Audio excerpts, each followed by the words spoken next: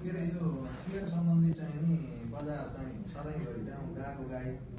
अब यो के भएको? यस विषयमा अलिकति चाहिँ समितिमा बसेर छलफल गरौँ भनेको। पहिला हामी यहाँ सचिवालयमा बसेर छलफल गरौँ भने त्यसपछि त्यही विषयमा चाहिँ अलिकति मान्यज्यूहरूले पनि सरोकार चाहिँ राख्नु भएको छ। त्यो चाहिँ औपचारिक मिटिङमा प्रकारले कुरा गरौँला। तर त्यो विषयमा बसेर यहाँ पर्सि आइतबार एक बजेतिर छलफल गरौँ टाइम होला। ल एक बजे है। त सबै एक बजे। एक बजे। सिंहदरबारमै छ। त्यहाँ अर्थ समितिको सचिवालय भनेपछि त्यहाँ संसद सचिवालयमै छ। अध्यक्षज्यूलाई पनि खबर गरौँ होला त्यहाँ फोन लागेन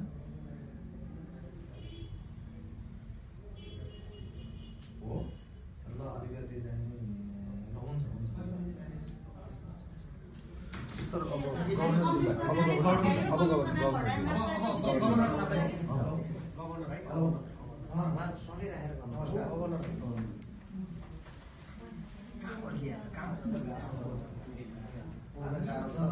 भोलि चाहिँ बिहान कुनै बेला ल ल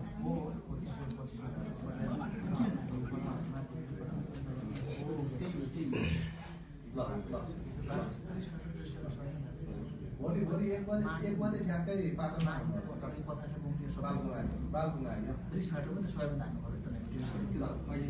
अहिले तत्काल गर्ने काम सर,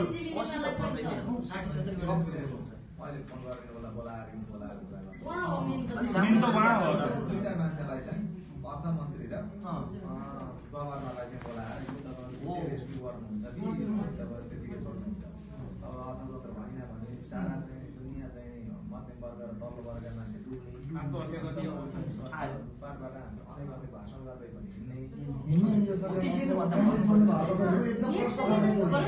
पोहोर एक्काइसले चाहिँ यो परीक्षण उ चाहिँ हुन्छ अनलाइनको भनेर दिदी। बहिनी म्याडम म चाहिँ यो महिलाको तर्फबाट पनि भन्नुपर्दा कतिजनाको डिभोर्सै भइसक्यो क्या।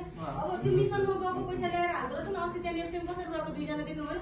मेरो त सिमाले। मिसनमा गएर ल्याएको पैसा। लो न म्याडम भनिदिनु न भन्छन् मलाई पो भन्छन् अब त्यस्तो ल हुन्छ भनेर ल्याएर सर एउटा सानो सानो काम हजुरले गराइदिन्छु मार्केट रोकिन्छ। एउटा सानो काम। त्यति त्यति मात्र गभर्नर ज्यूलाई अब के भन्नु पर्यो भने तपाईँ एउटा निर्देशन निकालिदिनुहोस्। निर्देशन के निकाल्ने भने।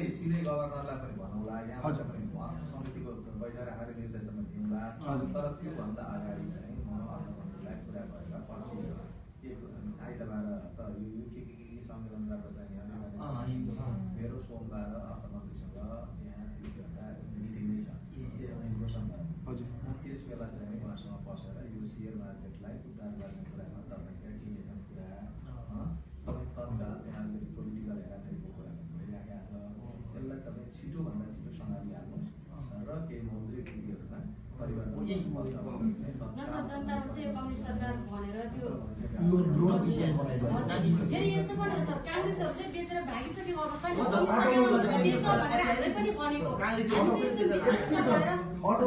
लिएर नेपाल राष्ट्रपतिबाट यतापट्टि ल्याइदिएको हुन्छ जसको अब ब्याङ्कले च्यापेको च्यापै छ उनीहरू त हात्तिनु परेको हो परेको। अब जसको चाहिँ अब समस्या त आफ्नो ठाउँमा सबैको हातमा हुन्छ कसरी करोड हालिहाल्छ। कसरी पाँच करोड साथीहरू पनि हो। होइन कति त्यसै दमदास परेर चाहिँ बसेका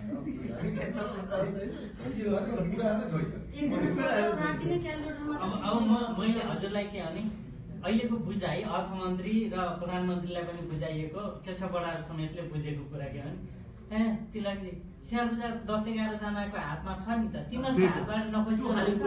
भन्ने छ त्यो दस एघारजनाको हातमा छैन त्यो दस एघारजना होइन केही मान्छेहरूले जो ब्याङ्कसँग डाइरेक्ट सम्बन्ध राख्छन् उहाँले भने जस्तै बिस पचास करोड रुपियाँ फोनको भरमा आफ्नै बेडमा बसेर मगाउँछन्। तिनीहरूको त होला नि अहिले पनि सेयर अँ, तिनीहरूको उनीहरूको त जाँदैन हजुर के जाने भनेको त हाम्रो हो। उनीहरूलाई त। मार्जिन कहिले छैन नि? एउटा कोषबाट भएर नि अर्को कोषबाट निकालेर मिलाउँछ। होइन। मिलाउँछ। एकदम भइरहेको छ। राष्ट्र ब्याङ्ककै मान्छेहरूले पनि त्यसलाई हजुर? खर्बौँ रुपियाँ हजुर पहिले त्यस्ता मान्छेहरूले चाहिँ सेयरमा अहिले डाउन भएको छ।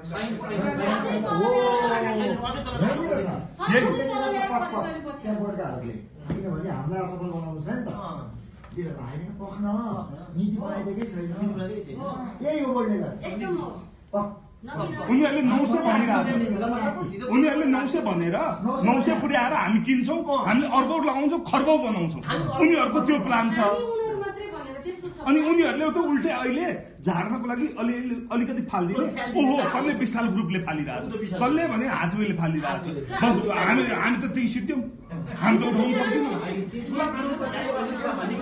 त्यही ग्रुपको ब्याङ्कमा पनि लगानी छ इन्सुरेन्समा पनि लगानी छ अर्को ब्याङ्कमा पनि लगानी छ होइन? आफ्नो नाममा नभए अर्को नाममा छ होइन? तिनीहरूले एकदम ठुलो खेलहरू खेल्न सक्छन्। तिनीहरूलाई मार्केट माथि गए पनि केही मतलब छैन। माथि गयो भने ए किनेर अरू माथि लगेर अरू माथि बेच्ने। होइन? अरू तल गयो भने तलै जाँदाखेरि किन्ने। जतिखेर पनि फ्री छ एउटा होइन? हामी सबैलाई खेले अनि अब कति पुलिस बनाउने खेला होला। यी सबै सर्वहारा हो पुँजीपति होइन सेयर बजार पैसा लगाउने बित्तिकै। हामी सबै सर्वहारा हामी सबै सर्वहारा एउटा मनोविज्ञान हाम्रो अहिले खेलिराखेको मनोविज्ञान यस्तो पन्ध्र लाख छ। पन्ध्र लाख। पन्ध्र लाखको खाता खोलेको छ। पन्ध्र लाखको खाता खोलेको छ। सेयर बजारमा यो आइपिओ हाल्ने अस्ति माथिल्लो तामाकोसीकोमा तिन लाख पैँतिस हजार जनाले चाहिँ आवेदन गरे। भनेपछि तिन लाख पैँतिस हजार जना चाहिँ एक्टिभ रहेछन् भन्ने बुझ्नु पर्यो होइन? अब त्यसमा पनि मैले नै आइपिओ हालिनँ त्यसमा भने म पनि छुट्याएको छु म पनि एक्लै छुट्याएको छु। पैसै छैन कहाँबाट। पैसै छैन। कहाँबाट हाल्ने। अनि अर्को के छ कस्तो छ भने कतिपय मान्छे कृषि विकास ब्याङ्कको सेयर लिएका छन्।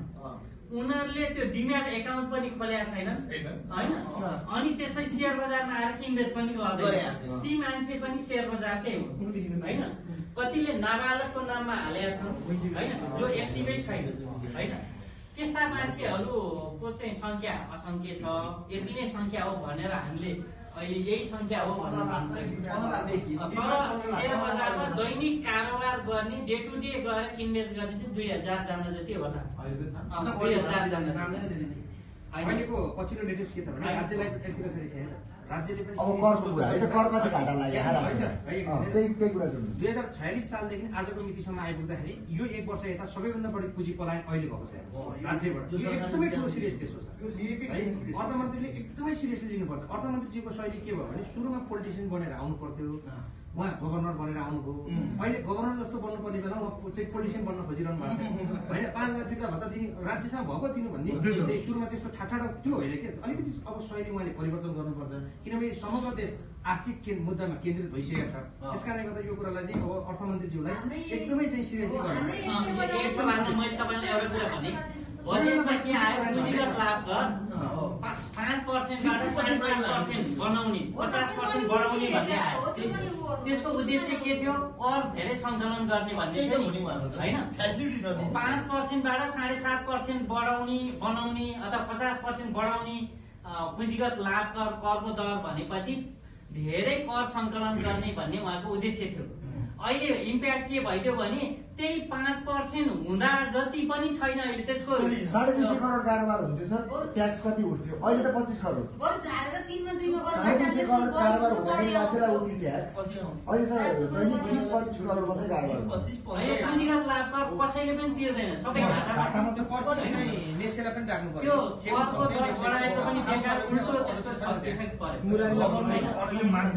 मात्र एउटा रोकिन्छ ब्रोकर कमिसन कति आउँथ्यो। सबभन्दा धेरै त सरकारकै खातामा आउँथ्यो। पन्ध्र पर्सेन्ट टिडिएस भन्ने चाहिँ सिधै सरकारको खातामा आउँथ्यो। जुन जिरो पोइन्ट सिक्स पर्सेन्ट जुन एक करोड एक लाख रुपियाँको सेयर किनबेच भयो भने अ, छ- छ सय रुपियाँ। छ सय रुपियाँमा चाहिँ अ, सिधै बिस पर्सेन्ट चाहिँ नेपाल नेपाल स्टक एक्सचेन्जलाई जान्थ्यो। तपाईँ नम्बर कति nine eight zero three zero two zero nine zero eight.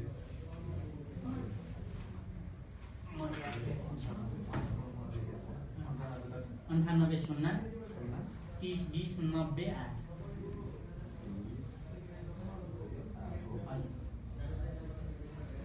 तिस एन्सेल त्यो एन्सेल लाग्छ मैले आउँदैछ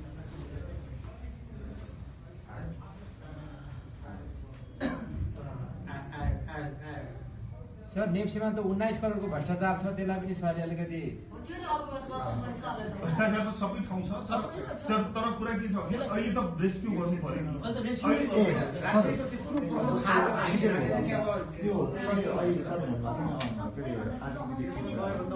किन उहाँले हो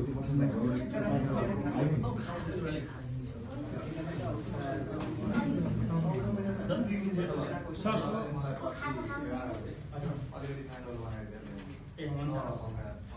अहिले राष्ट्र ब्याङ्कलाई हजुरले गभर्नरज्यूलाई अहिले फोन गरेर होइन? तपाईँले यो निर्देशन एउटा गरिदिनुहोस्। यो मेन चिरञ्जीवी नेपाल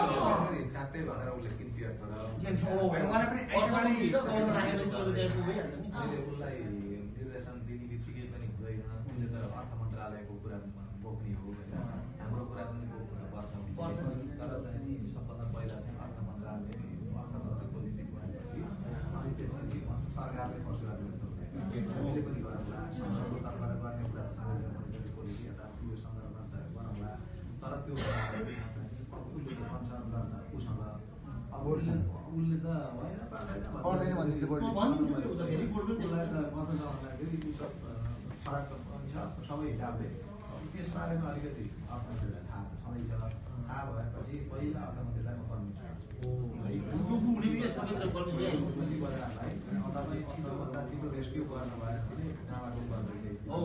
यो चाहिँ तपाईँले तुरुन्तै तत्काल त्यहाँको साथीहरू पनि आउँछन् भने भेट्नुहोस् अथवा तपाईँ आफै जान गाह्रो हुन्छ यो कुरा चाहिँ किन चुप नजरअन्दाज गरिराख्नु भएको छ त्यति भने तपाईँ कार्य सुन्नु पर्याप्त होइन यो तत्काल पारेर तपाईँले यसबारेमा लिनुपर्ने कदमहरू के हुन् तत्काल लिइहाल्नुहोस् भनेर म भन्छु अनि भनिसकेपछि त्यो कुरा त म व्यक्तिगत रूपमा भन्छु व्यक्तिगत रूपमा मात्रै भनेर मात्रै भएन संस्थागत ढङ्गले पनि म भन्छु दुइटालाई बोलाउँ अब यो चाहिँ अलिक पुँजी बजारको सन्दर्भमा अब निकैको चासो सरोकार एकदम एकै लगानीकर्ताहरू चाहिँ रहेको क्षेत्र भएकोले गर्दाखेरि म समितिको औपचारिक बैठकमा प्रवेश गराएपछि समितिको बैठकले निर्देशन दिन्छ। यो व्यक्तिले भएन बैठकले निर्देशन दिइसकेपछि अनि त्यसपछि त्यो चाहिँ कार्यान्वयन गर्नै पर्छ क्या।